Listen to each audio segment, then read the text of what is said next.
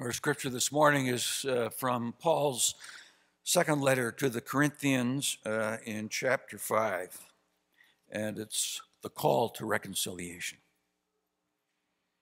from now on, therefore, we regard no one from a human point of view. Even though we were once knew Christ from a human point of view, we know him no longer in that way. If anyone is in Christ, there is a new creation. Everything old has passed away. See, everything has become new. All this is from God who reconciled us to God's self through Christ and has given us the ministry of reconciliation. That is, in Christ, God was reconciling the world to God's self, not counting their trespasses against them, and entrusting the message of reconciliation to us.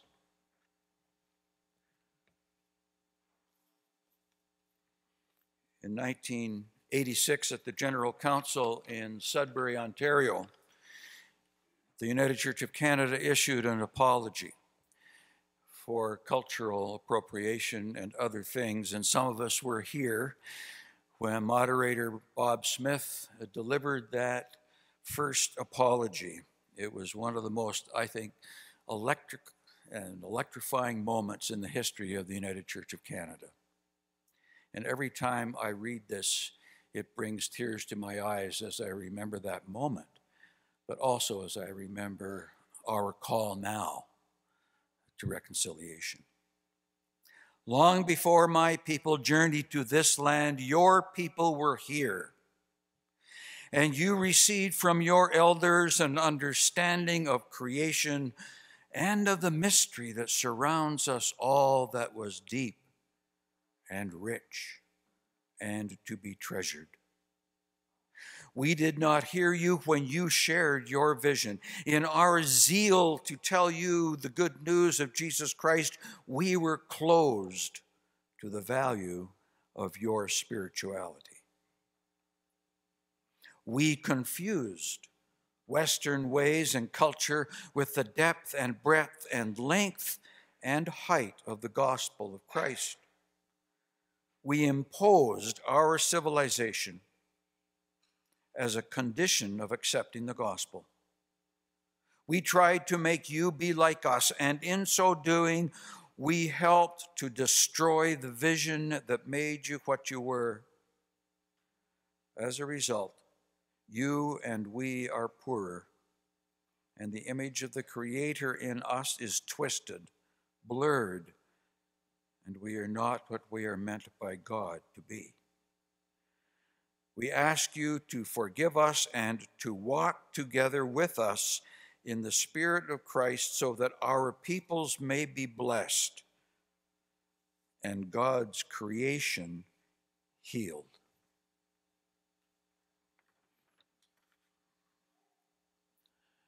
And then in 1998, I was honored when I was moderator of the United Church of Canada to deliver this apology. I'm only going to read part of it.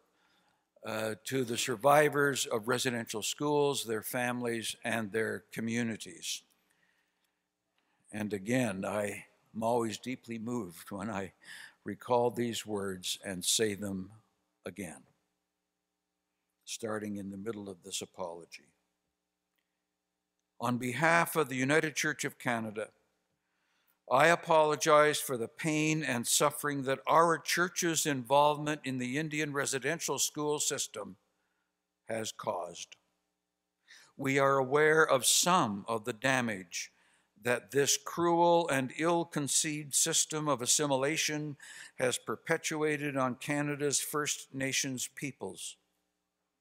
For this, we are truly and most humbly sorry to those individuals who were physically, sexually, and mentally abused as students of the Indian residential schools in which the United Church of Canada was involved, I offer you our most sincere apology. You did nothing wrong. You were and are the victims of evil acts that cannot, under any circumstances, be justified or excused. We know that many within our church will still not understand why each of us must bear the scar, the blame for this horrendous period in Canadian history. But the truth is, we are the bearers of many blessings from our ancestors, and therefore we must also bear their burdens.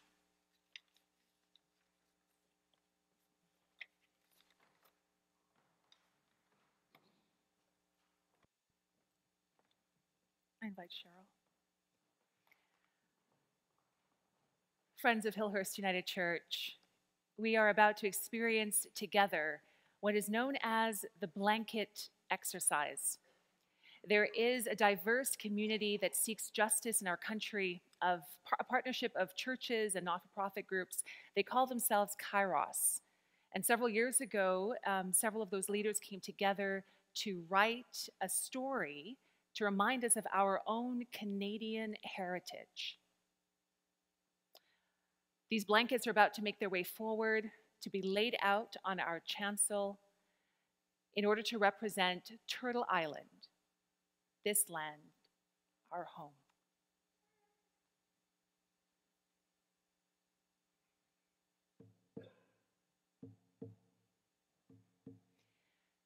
The Spirit of God, like a soft blanket, you sustain and comfort your people and all parts of creation.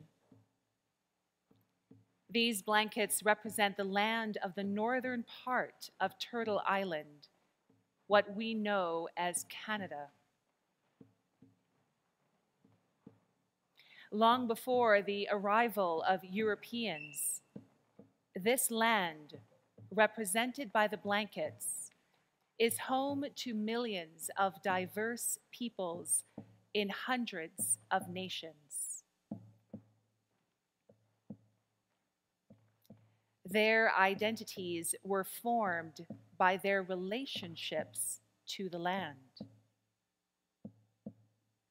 All of their needs were met by the land food, clothing, shelter, culture, spirituality.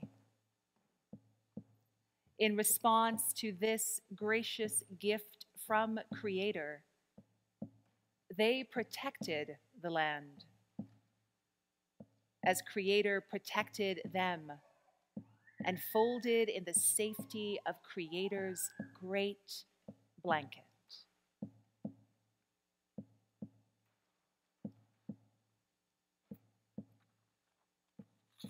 Let us pray. God of life, open our minds and hearts, all of ourselves to the experiences and realities of Indigenous peoples. Give us imagination and compassion, spirits that are open to challenge and to new information. Like Moses at the burning bush, call us to take off our shoes, to connect our bodies to this history, to walk gently and compassionately, to acknowledge that this land is holy ground. Reconciliation is holy work. And holy work can be unsettling with emotions, anger, tears, silence, and confusion may emerge. God of grace, walk with us now to accept ourselves as we are, to acknowledge the past for what it was, and to create a future of respect and reconciliation.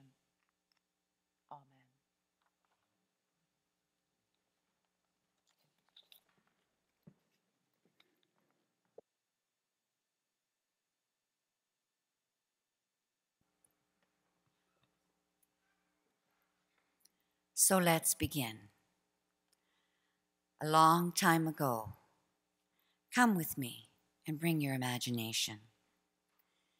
The blankets spread out here represent the northern part of Turtle Island, or what we know as Canada, before the arrival of the Europeans. I invite you to picture yourself on Turtle Island as one of the Indigenous peoples. Place yourself on this land, on these blankets, and imagine your life. Long before the arrival of Europeans, Turtle Island was home to millions of people who lived in thousands of distinct societies that formed hundreds of nations and communities. These nations had their own laws and ways of governing themselves. As nations, you worked with one another. You resolved conflicts over land and resources through treaty making. You were diverse, yet, as Indigenous peoples, you shared things in common. Your relationship to the land defined who you were as peoples. Things were happening in Europe at the end of the 15th century that would mean a huge change for you. European explorers had just, quote unquote, discovered you and your lands. This started a fierce competition between European nations. Scroll A, please. Without even consulting us, you made deals amongst yourselves and divided up control over us and our lands. Usually, whichever nation discovered our land first took control with the blessing of the Christian church. This practice is now called the doctrine of discovery.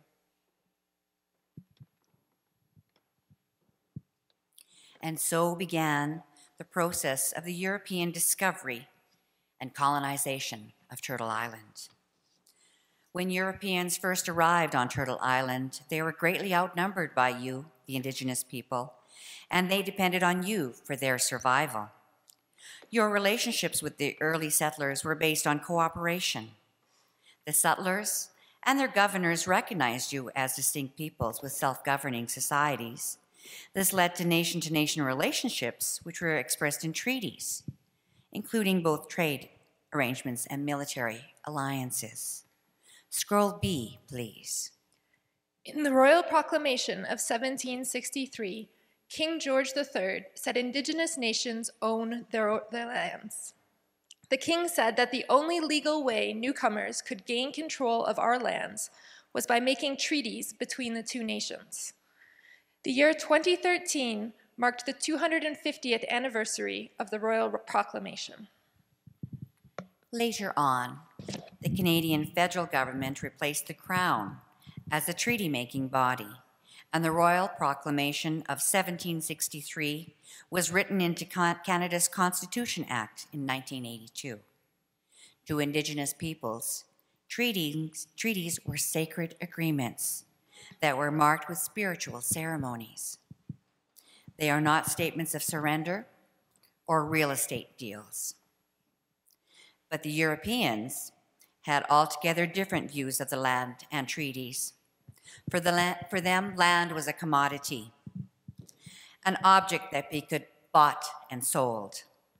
Treaties were a way of getting you, the indigenous people, to surrender or extinguish your title to the land. Over time, your relationship with the settlers grew worse. With the end of the War of 1812, the newcomers in the East no longer needed you as military allies. In the West, the fur trade dried up, and settlers turned more and more to agriculture, as they no longer needed you as trading partners either. Soon, the Europeans began to outnumber you. One reason for this was the diseases the Europeans brought with them diseases such as smallpox, measles, tuberculosis, for which you had no immunity. Some experts fully believe that half of the indigenous peoples alive at the time died from these diseases. Some communities lost up to 90% of their members. I extinguish this candle to represent thousands of First Peoples who died from TB, measles, or smallpox.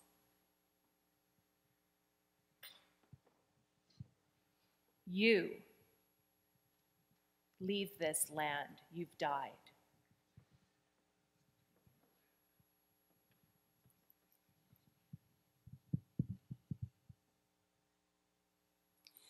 More Europeans also meant an ever increasing demand for land for settlement. The colonial governments adopted policies to take your land. Some was taken in war. A lot more, since it was taken without any right or justification, was stolen by the government.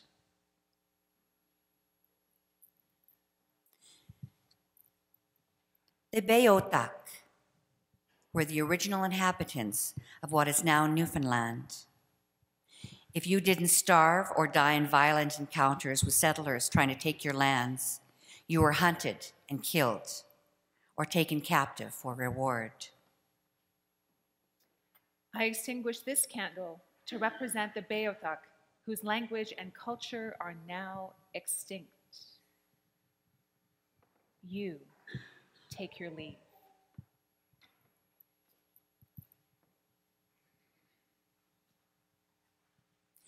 In the high Arctic. Some of you in Inuit and Innu communities were removed from your land, your traditional territories, and relocated to isolated, unfamiliar, and barren lands. I extinguish this candle to represent those who died of malnutrition after being forced off their traditional territory, away from their hunting grounds.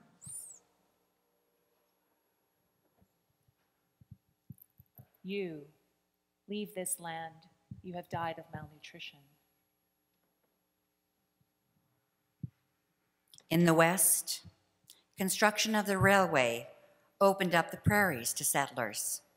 Land was needed for farming, and the government of Canada bought a huge piece of land from the Hudson's Bay Company.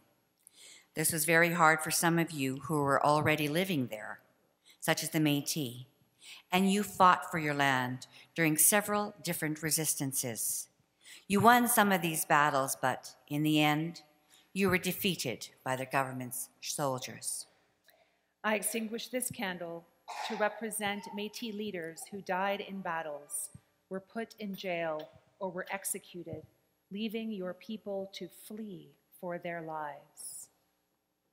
You, Metis leader, leave this land.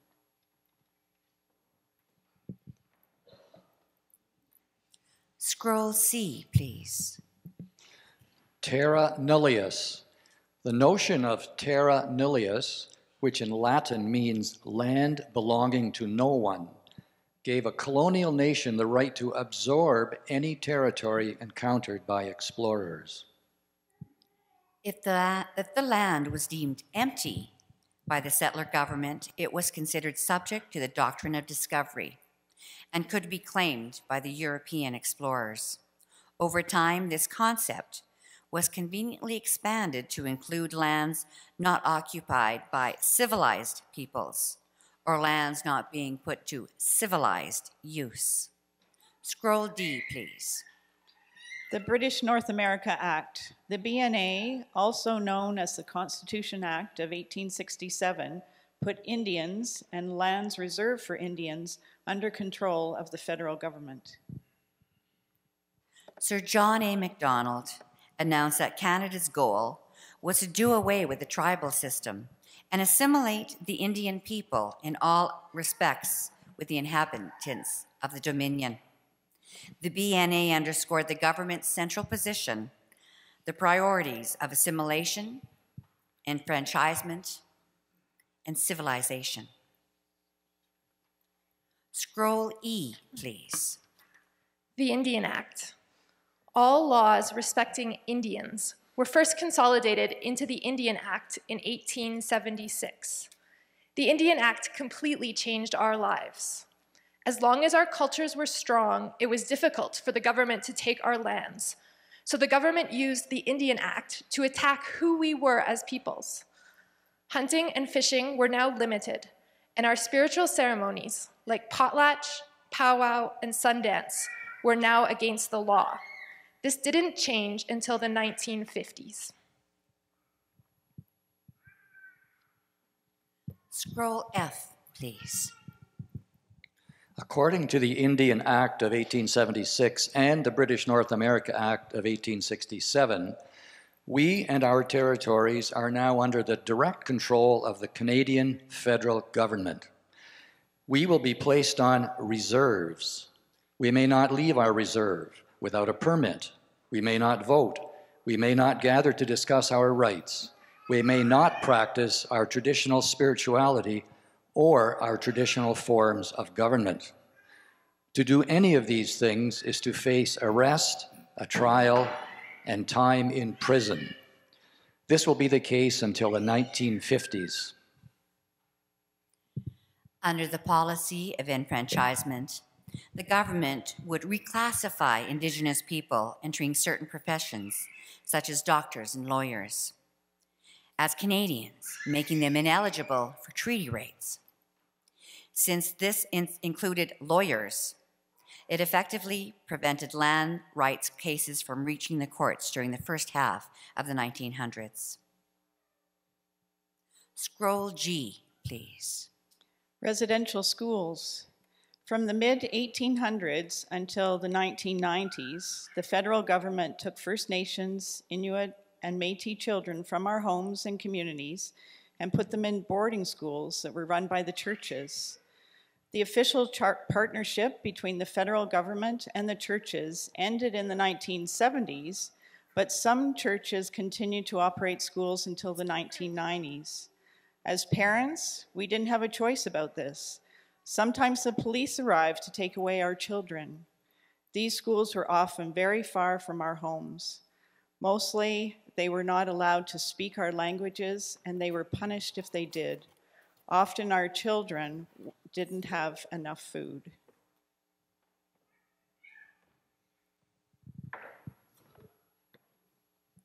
While some report having positive experiences at the schools, most Indigenous people suffered from the impoverished conditions and many from emotional, physical, and sexual abuse. Raised in an institution, many lost their culture. Most lost their parenting skills. Some did not come home.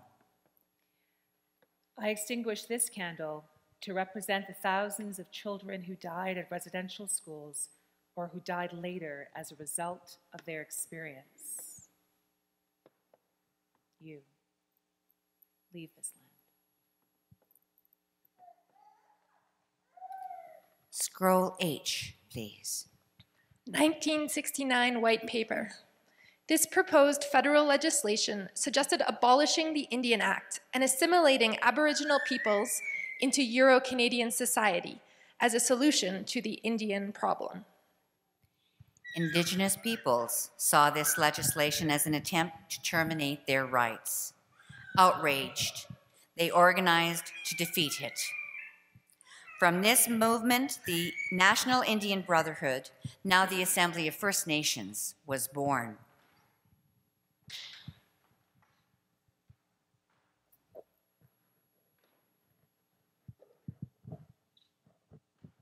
Scroll H, please. Oh, I just read that, sorry. Scroll I, please. In the modern day, large companies can set up shop on our territories, generate huge profits from natural resources, and often pollute and deplete the land without regard to Aboriginal or treaty rights, and without benefits flowing to Indigenous peoples.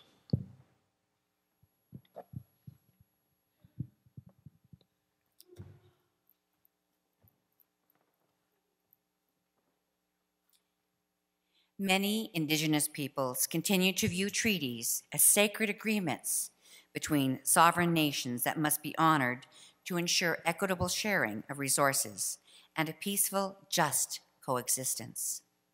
But that view, similar to biblical notions of covenant, continues to go largely unrecognized by non Indigenous society, which views treaties primarily as surrenders, as surrender documents. One way the Canadian government pressures you, the Indigenous peoples, to leave your lands and assimilate is by failing to provide enough funds for basic services. There are 85,000 new housing units needed on reserve, and 60% of existing homes are in need of repair. Many communities have inadequate access to health care. This contributes to such situations as the rates of TB among the Inuit that are 185 times higher than for Canadian born non Indigenous people. Over half the water systems on reserve pose a significant risk to human health. Scroll J, please. UN Declaration on the Rights of Indigenous Peoples. The declaration was a response by the United Nations to the lack of international standards on the rights of Indigenous peoples. Although Canada had played an important role in developing the declaration, it was one of only four countries to vote against it at the United Nations in 2007. The Government of Canada finally endorsed the declaration on November 12, 2010, but as an aspirational document. Nevertheless, the endorsement was welcomed by most Indigenous groups and their allies, who see it as an important first step towards a new relationship that upholds their human rights. In 2015, the federal government committed to implementing the declaration. We unfold the blanket to symbolize the reclaiming of some Indigenous rights. Scroll K, please. The calls to action from the Truth and Reconciliation Commission's final report. Thanks to the courage of the residential school survivors, in 2008, the Truth and Reconciliation Commission was created out of a settlement agreement. Commissioners heard approximately 7,000 testimonies and issued a summary report and 94 calls to action in 2015. As the Commission completed its work, Justice Murray Sinclair, the Chief Commissioner, stated, We have described for you a mountain. We have shown you the path to the top. We call upon you to do the climbing. Another blanket is unfolded as a symbol of resurgence of indigenization in Canada.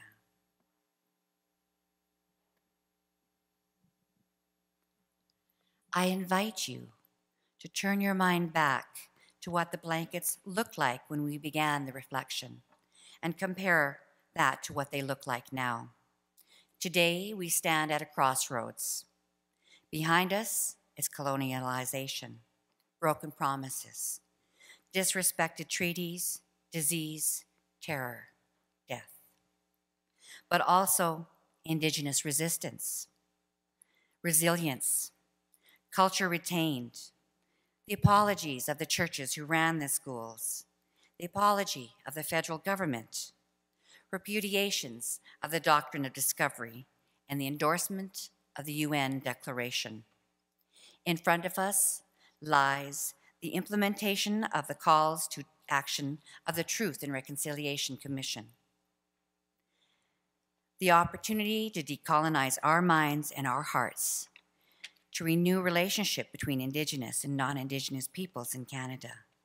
The opportunity for not only truth and reconciliation, but justice and human rights, cultures, spiritualities, and languages remembered, and the opportunity to work together to bring real, lasting change to the current inequities facing Indigenous peoples. To make this change, we need a sense that this story is about all of us Indigenous and non Indigenous, original inhabitant, early immigrant, recent immigrant. It is about the integrity and equality of all. We are all treaty people. We need to bring the Truth and Reconciliation Commission and its findings and calls to action into the newspapers, schools, churches, boardrooms, city councils, kitchens, into non Indigenous Canadians' lives daily. We need to bring the UN Declaration into law and policy and practice, into meaningful implementation. We need to know that each of the 94 calls to action from the Truth and Reconciliation Commission, we need to make them a reality. We need to remember and renew peace and friendship treaties. and we all need to be changed. In the spirit of reconciliation and healing, I will share the Cree healing song.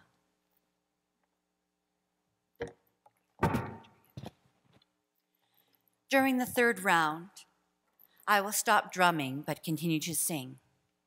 I invite you to close your eyes and focus on your personal healing, on the healing of those close to you, on the healing message that we are sharing this day, to take responsibility for your own healing. This is the Cree healing song, also known as a crying song or the wailing song.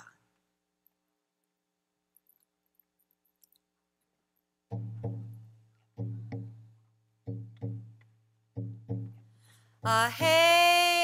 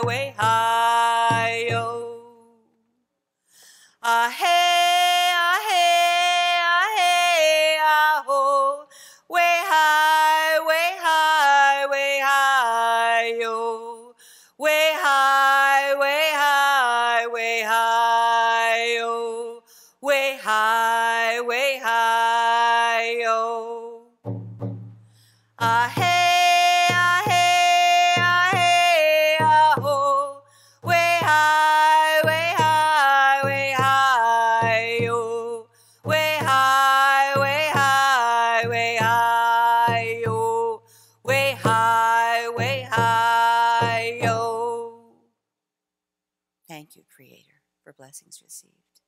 Thank you, Mother Earth, for the gifts of your bounty. Thank you for the teachings of the four directions and our elders. Beloved Creator, thank you for this gift of life, for the gift of love. Beloved Creator, let thy will be done.